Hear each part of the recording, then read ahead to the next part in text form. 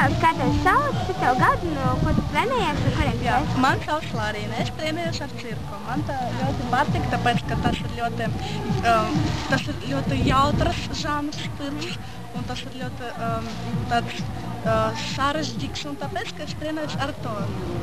Un, kas tev tieši cirkā visvairāk patīk? Varbūt Vispār man patīk um, dansot, um, dansot darbo, darbot, uh, darbo ar diablo un Mhm. ar bulāviem un žonglēri. Man ļoti patīk.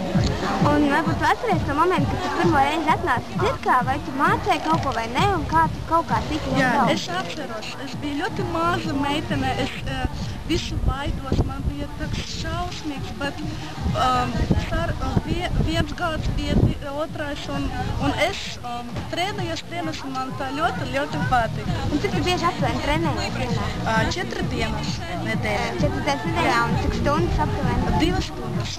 Jā. Vai, vai, vai ļoti vajag piespiesties tā? Cirks uh, tas ļoti grūti, Jā. jo tas ir sarežģīts žanrs, un tas nav dēja. Tu dēja ir un ļoti, ļoti interesanti. Un kādiem cilvēkiem tu ieteiktu piedalīties cirkā? Ko? Kādiem cilvēkiem tu ieteiktu piedalīties cirkā? Um, Visiem ziemiem, visiem meitenēm, jo cirka studija ziem, ir ļoti maz. Ļoti maz. Un, un kādiem cilvēkiem, nu, raksturā vajadzētu nākt? Raksturam, veš, um, jautram cilvēkam, jo klaunāda jautrs uh, ir ļoti labi stipram cilvēkam, mm, gudram cilvēkam un drosmīgam. Jā. Un ko tu varbūt pateiktu cilvēkiem, kas skatās cirku, bet pirmo reizi skatās un nezinu, kas tas ir? Nu, es nezinu, jo es, es cilvēku nebiju. Es skatos un visu, visu zinu par cirku. Tā, Ah, bet tu nevarētu tā pateikt divos vārdos, kas ir cirks. Tā.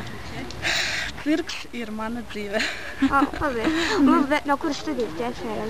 Es cirka studiju jaunībā. Tas ir Juliana, mana ā, trenere. Juliana, tā, Jūrā. ta- tas, tā ir mana trenere Juliana Buslavska. Ļoti um, jautrs cilvēks, ļoti labs cilvēks. Un mēs ļoti mīlam šo. Jā, viens otru. Jā. Paldies. Ilze.